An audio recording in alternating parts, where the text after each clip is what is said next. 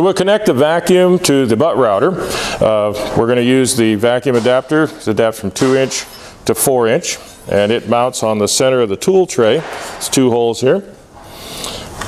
There's 5 16 button head bolts with nuts and lock washers.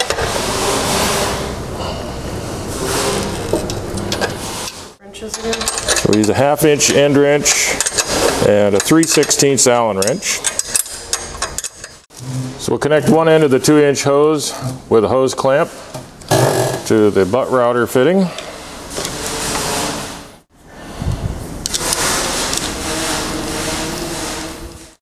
We're going to connect the vacuum hose and the hose loom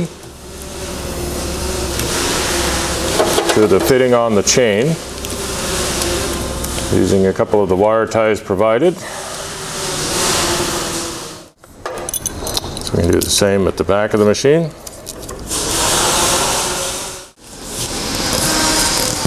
Connect that to the vacuum adapter with another hose clamp.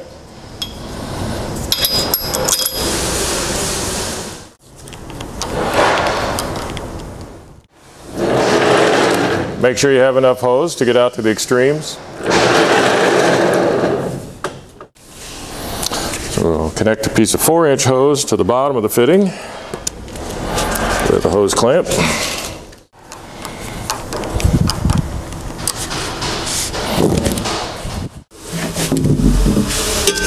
So connect the other end of the hose to the vacuum unit. I've connected two more 4 inch hoses to go to the bottom of the machine. One will go to the cutter head end and one to the drill section end. The hose for the drill section end will connect to this fitting here. So we've connected the hose to the drill section end. So we'll connect the uh, vacuum hose to the cutter head end right here by the cutter head motor.